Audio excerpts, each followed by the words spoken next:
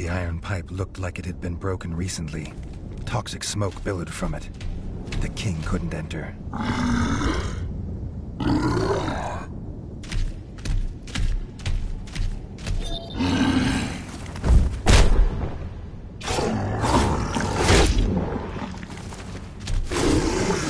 Undead. How long had they just been sitting on this evil infestation? Had his father known?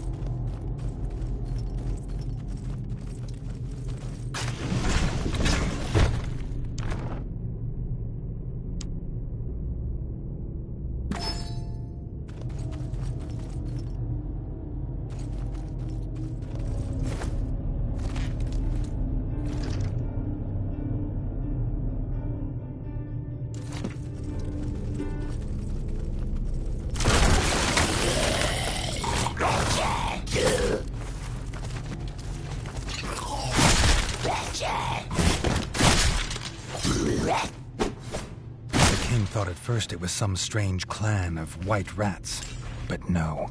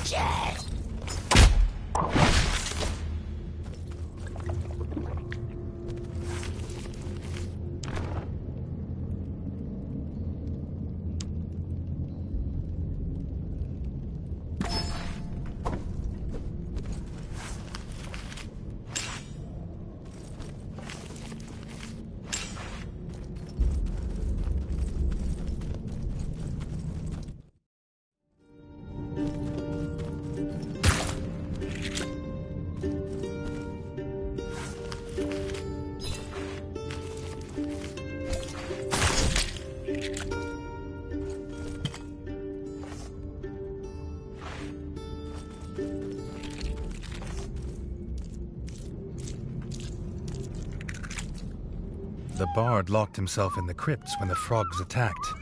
But if he'd hoped for safety, he hadn't found it.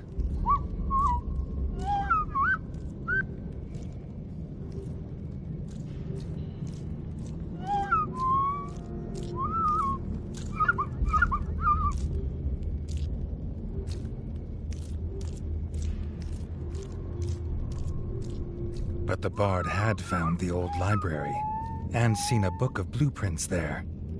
He also thinks he's found a way out.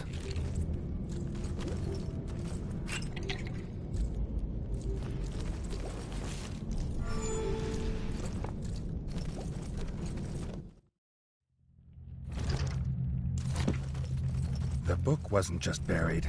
The whole Grand Library was abandoned.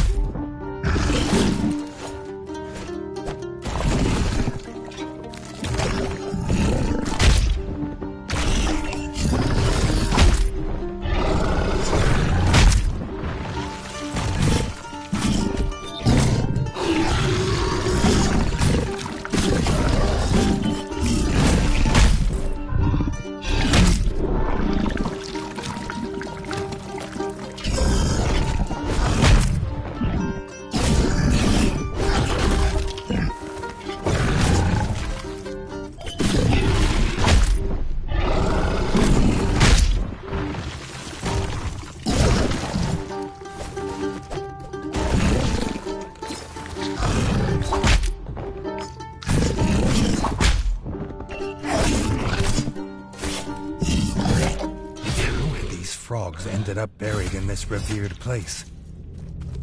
More of his father's secrets. But for now, he had found the book. The other mysteries would have to wait. Redgi wished King Rattus were with him, to explain these creatures being here. And, if he were being honest, because he missed his father's reassuring presence.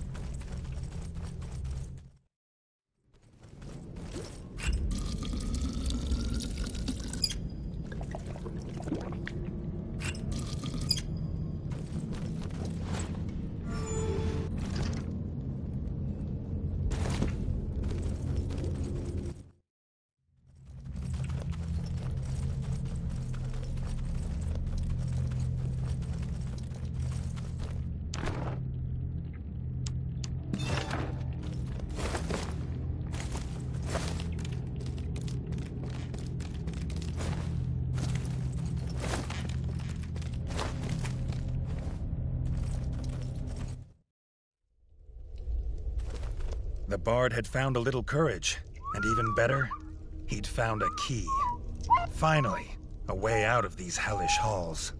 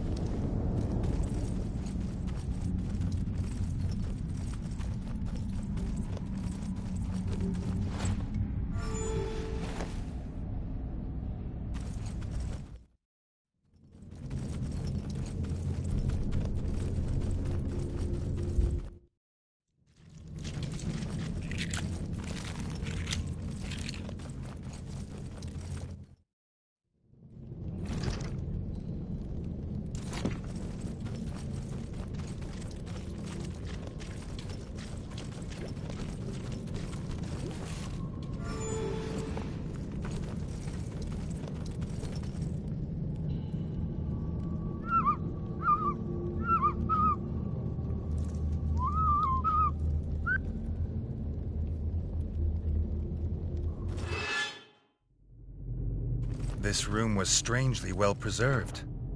The lack of rubble showed how bare it was, like something was missing.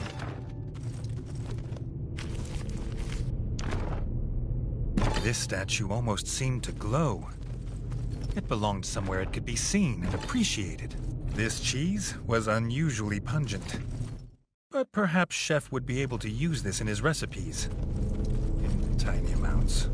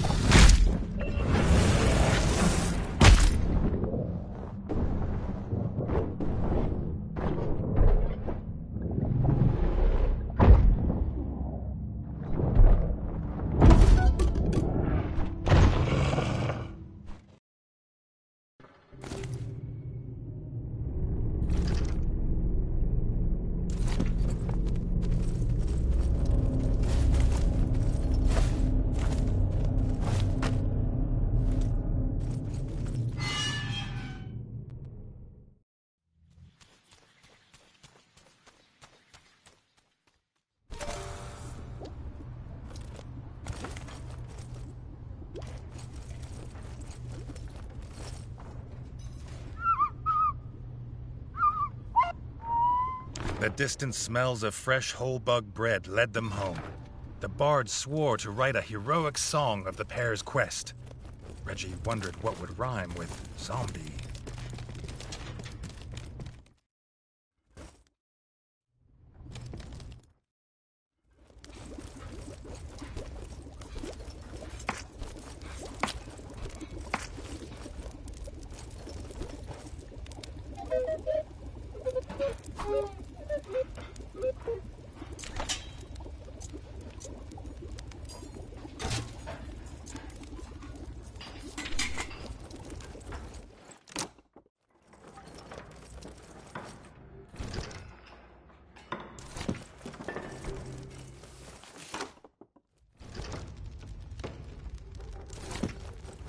Redgi didn't tell his brother of the undead yet.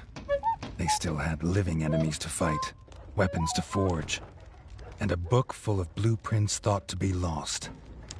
Stories could wait.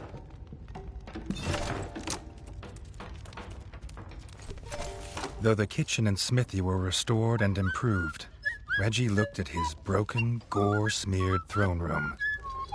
No self-respecting king could rule from here. The costs, as usual, never went down.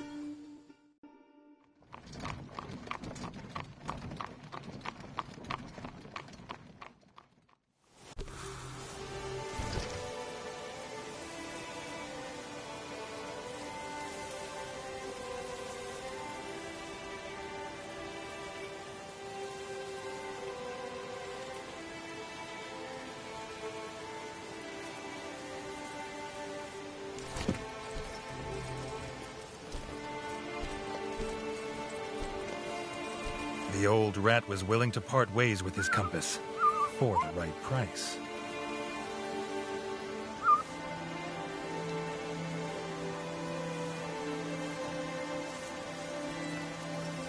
This fine compass was ideal for a ranger tracking beasts in the wild.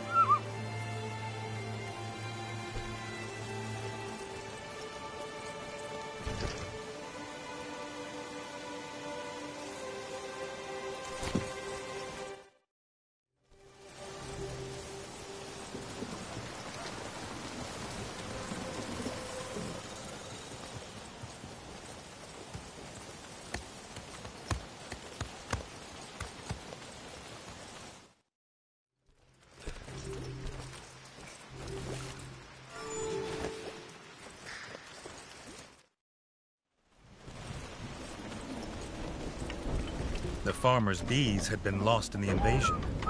He would buy a new hive, if only he had the materials.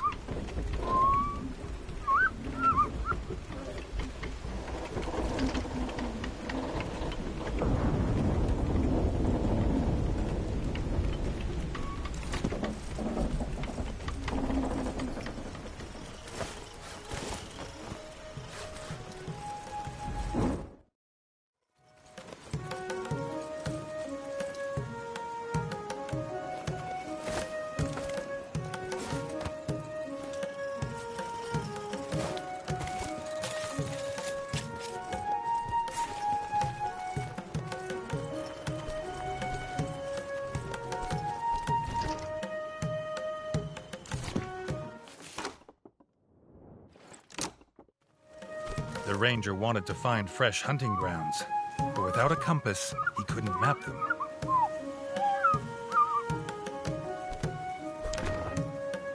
The compass had guided the ranger to new hunting grounds. He gave his first kill to the king in gratitude. The chef's cellar would soon be overflowing.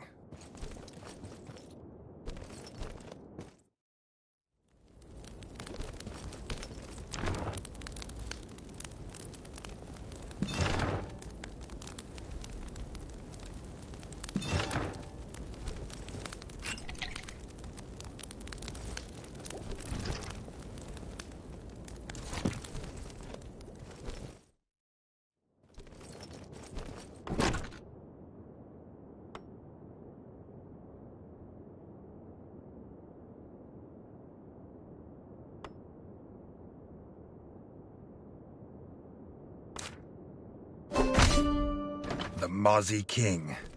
Smaller than his female counterpart, but just as ferocious.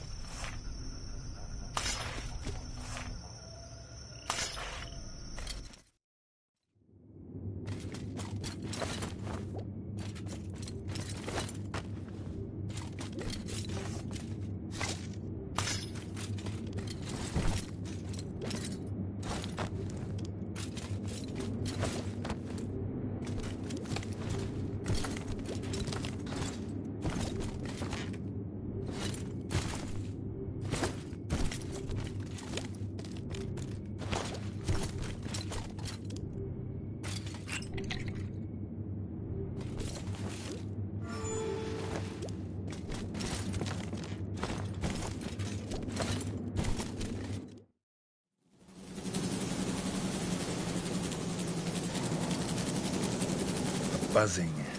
Then the stench of rotten meat. The Mozzie King had come for him. He wasn't the only king with a sting in his tail.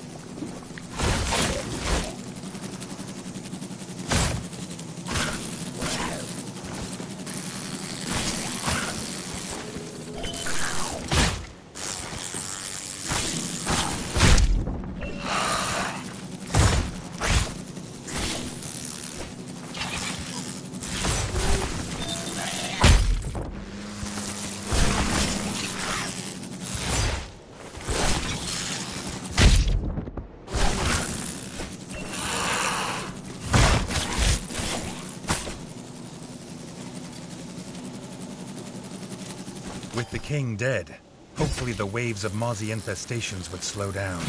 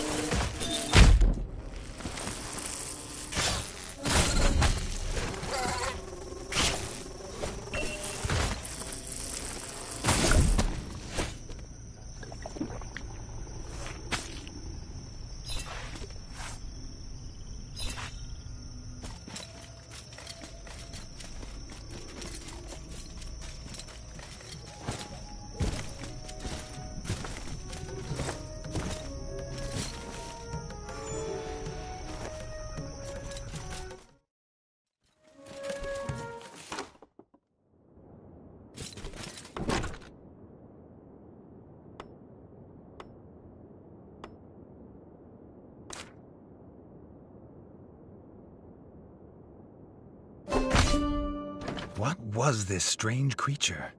Everything about it unsettled him. He must be cautious.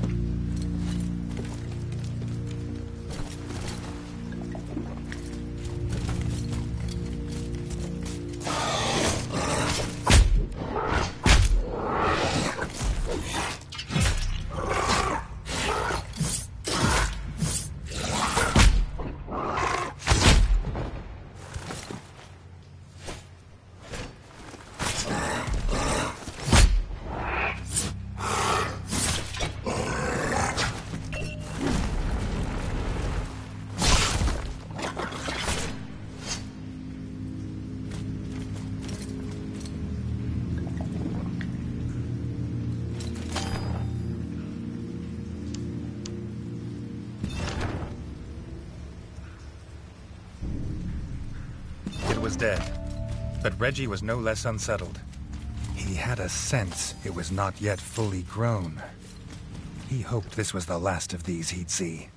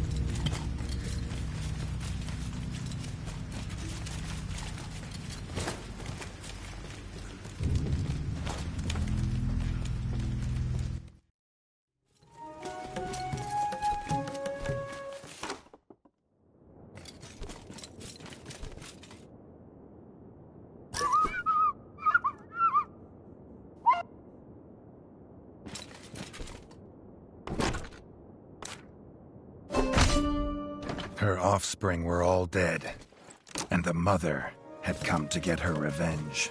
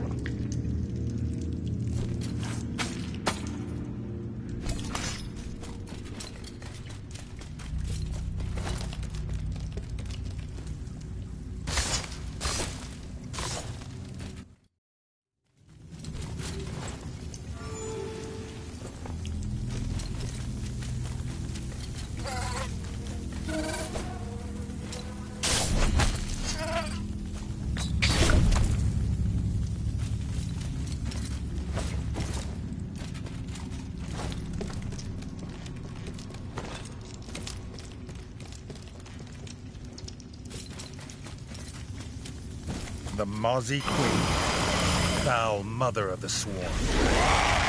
Never stop watching.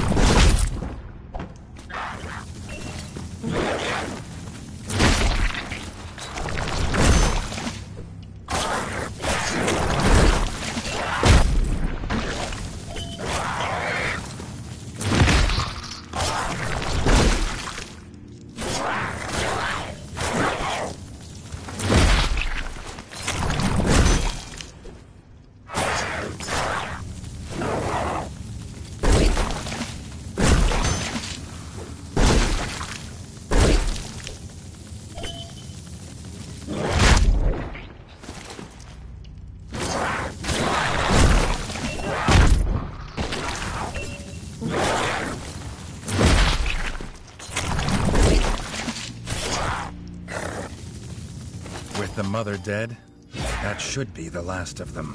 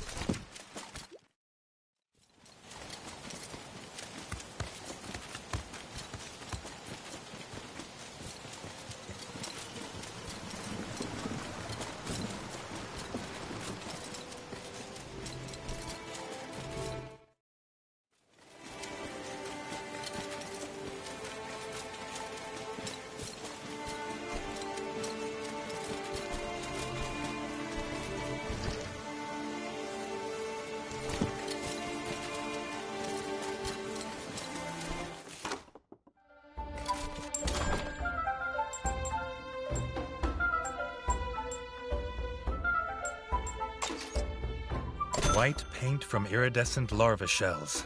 A perfect finishing touch to any wooden construction.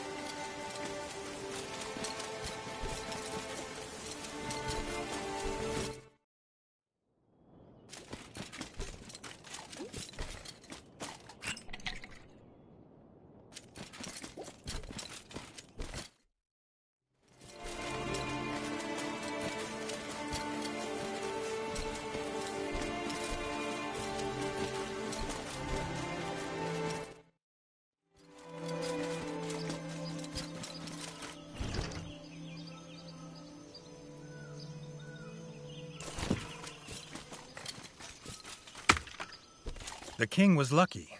The woodcutter had just finished cutting the planks and was willing to strike a deal.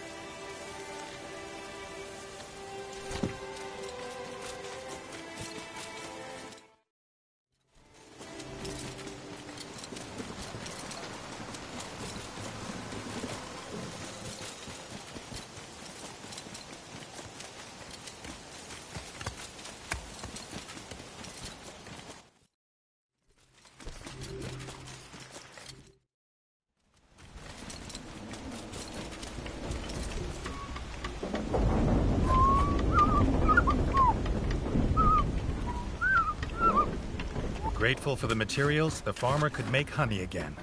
He gifted the first batch to the king.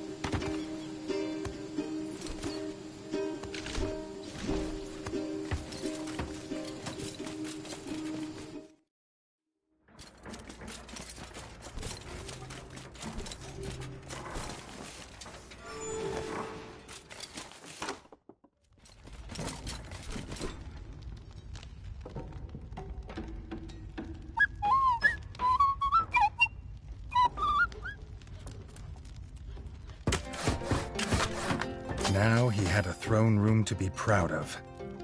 Not like his father's, but he was his own king, doing things differently. Not hiding zombies in the crypt, for example.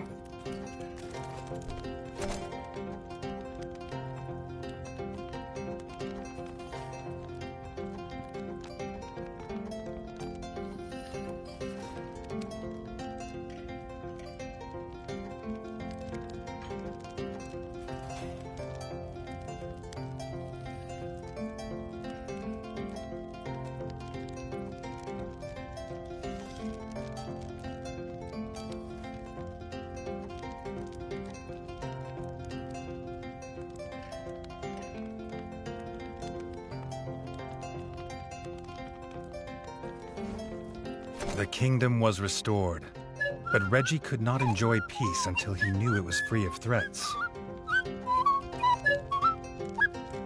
It was only restored above. Miners had sighted frogs below. Some were no longer willing to work. His squire thought it might have more to do with a strange rumbling. They say a monster prowls beneath.